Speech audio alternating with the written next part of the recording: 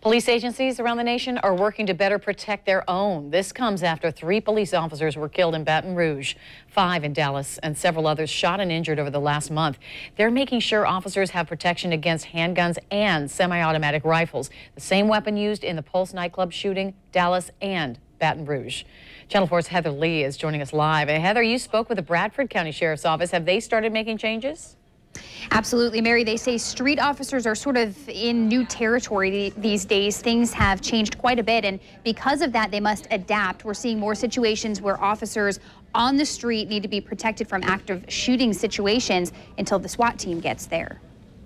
There's a lot of different options, a lot of different manufacturers out there. Tactical and bullet resistant vests can save lives, and that's a must for law enforcement, especially now. Officers put their lives on the line. We know that there's that danger out there. We want to be as safe as we possibly can be.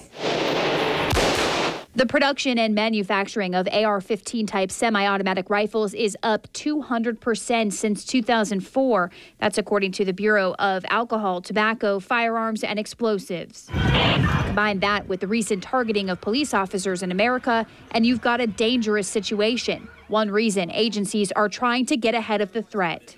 This is the type of vest that officers wear on a day-to-day basis when they're responding to calls. It's pretty lightweight, but if they need that added layer of protection, they can grab what's now being called the active shooter kit, and they can easily keep it in the back of their trunk or in the front of their car, and it's accessible. The actual um, ballistic shield itself can be made out of uh, a couple of different things. You got the steel plates, you got the ceramic plates, and the polymer plates. Cost is going to vary in those. The durability uh, factors vary in those. It's a big difference from what members of a SWAT team wear. Or military, for example. This vest is about 70 pounds and includes medical kits, water, and extra ammunition, and has plates along the shoulders and neck. But it is not exactly feasible to wear for long periods of time, and those who do wear them go through extensive physical training.